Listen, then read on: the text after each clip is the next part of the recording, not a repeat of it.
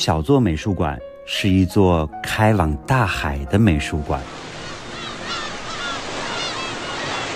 它充满了海洋的气息，裹挟着工业的建筑、中国的美学、闽南的文化，甚至还有欧洲文艺复兴的元素以及新古典主义，乘风破浪向你驶来。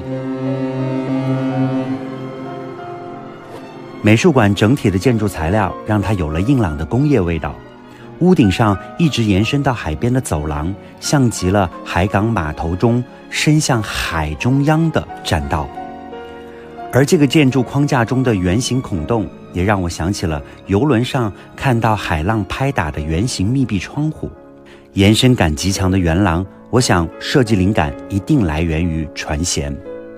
在室内，设计师将桌椅做了下沉的设计，这应该是希望观众对艺术有一份尊重的心态，更希望空间里的人从视觉和心理上都去仰视这栋建筑。这是新古典主义的一种表达。我猜，设计师拥有一个非常自信的人格。我上次看到这么长的桌子，还是来自于文艺复兴时期达芬奇绘画作品《最后的晚餐》当中，耶稣和十二门徒共同使用的那张长桌子。这红瓦做成的浪，这石块砌成的墙，还有这红砖做成的光景，妥妥的闽南文化建筑三板斧啊！看到这里，可能你在想。那中国美学它在哪里呢？你还记得那些圆洞吗？从这里看出去，这不就是苏州园林里常用的手法吗？还有这里，但凡碰上个下雨天，你就能够知道泗水归塘是有多美。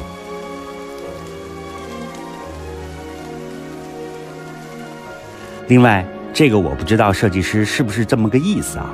简化的斗拱加上如此深远的屋檐，这是典型的唐代木构建筑的标志啊！都说建筑是凝固的乐章，节奏对了，一切就都对了。而小纵美术馆，就算没有展览，你只是坐在那里，你脑海里的人世间就已经是一场海上生花的美妙展演了。